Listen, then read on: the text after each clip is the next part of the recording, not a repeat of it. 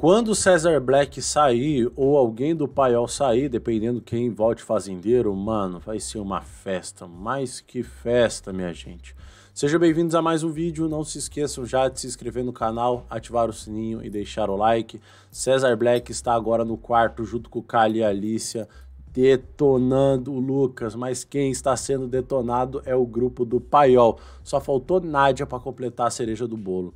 Não se esqueça, minha gente, de se inscrever no canal para a gente chegar a 300 mil seguidores antes do final do ano. Então, já clica no botão vermelho escrito inscreva-se. Se liga nessa. Verdade não faz curva. O cara que fala o nome de Deus pra falar uma mentira tem que ser muito escroto mesmo. Tem que ser muito, nem a- amigo, muito nem namorada, baixo, nem a Deus. Muito baixo, muito baixo, muito baixo.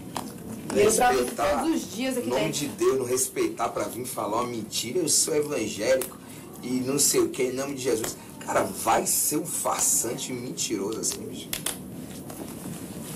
Fazendo esse teatro, chorando. Bom, a gente vai ver amanhã no, no, no programa, né? Quem realmente era o farsante.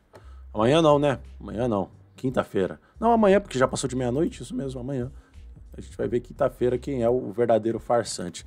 Eita, que delícia! Que agora o grupo do Paiol se quebrou, papai! Se inscreva no canal, ative o sininho deixa o like. A gente volta mais tarde com mais vídeo.